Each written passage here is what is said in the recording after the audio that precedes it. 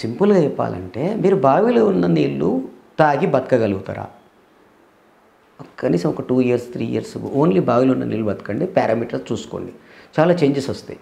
So మీరు ఒక few ఇయర్సే బావిలో ఉన్న నీళ్ళు తాగితే మీకు ఎన్నో అనర్థాలు వస్తాయి. ప్రవహించే నీళ్ళు తాగితేనేమో మీలో అన్ని మినరల్స్ అవన్నీ మంచి బ్యాలెన్స్గా ఉంటారు.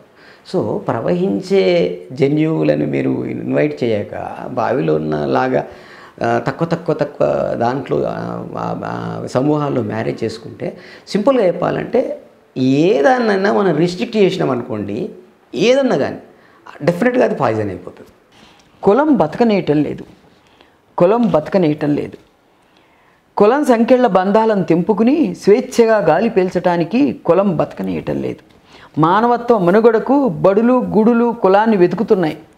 ఎక్కడికి వెళ్ళినా సరే కులం రాయండి అంటారు బడులు గుడులు కులాలని వెతుకుతున్నాయి మానవత్వం మనుగడ మనం మనం మనుషులుగా వద్దురా నాయన నేను మానవత్వంతో జీవిస్తాను నేను హాయిగా జీవిస్తాను అని అంటే మీరు రాయాల్సిందేనండి రాయాల్సిందేనండి అనేవాళ్ళు.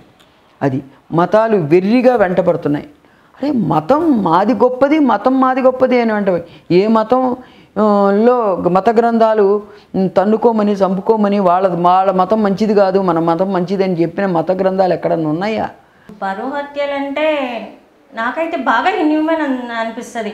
అది చూడంగానే ఆల్మోస్ట్ నాకు నా హెయిర్స్ అన్నీ నిలబడతాయి. అంత ఐ ఫీల్ సో ఎట్లా ఒక మనిషిని అంటే ఐ కాంట్ జస్ట్ ఇమాజిన్ ఒక చిన్న బర్డ్ నేననే ఏదో చనిపోతుండే అంటే ఎంత మాకు బాధలు అనిపిస్తుంది చాలామంది అంటారు మనది యువకుల దేశం యువకుల దేశం. అంటే యువకుల దేశం అంటే ఏంది? ముసలి వాళ్ళ ముసలి వాళ్ళు లేని దేశం అన్నట్టు. ముసలి వాళ్ళు ఎందుకు తొందరగా చనిపోతున్నారు? So you are inviting on the name of I feel అంటే అవన్నీ స్టడీస్ చేసి వీఆర్ ఇన్ క్రైసిస్ అని అనిపించింది దీని మీద. అందుకే కులం కంపుతో రాజకీయం.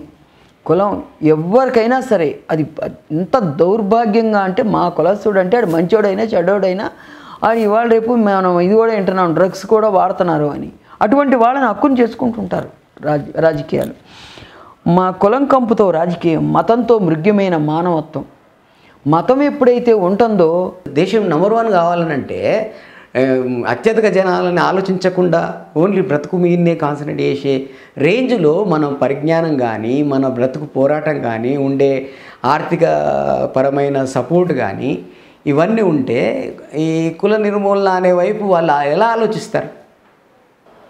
క్యాస్ట్ అనేది అంటే లైక్ ఇట్స్ నాట్ రిక్వైర్డ్ అంతే ఇట్స్ నాట్ రిక్వైర్డ్ అంటే caste politics and vote bank రాజకీయాలు అండ్ ఇంకా మిగిలిన బ్రతుకు పోరాటాలు ఇవన్నీ క్యాస్ట్ బేస్గానే జరిగే ఆ, ఆ కోణంలోనే జరుగుతున్నాయి. సో ఇంటర్ క్యాస్ట్ వివాహాలు పేదలు ఎందుకు చేసుకోవట్లేదు అనే కంటే మనం మన మధ్యలో ఉన్నటువంటి వైషమ్యాలు కులాల కంపుల్ని వదిలేస్తే మనం ఓపెన్ మైండ్తో ఆలోచించినప్పుడు మనం వాళ్ళని హక్కును చేర్చుకుంటాం.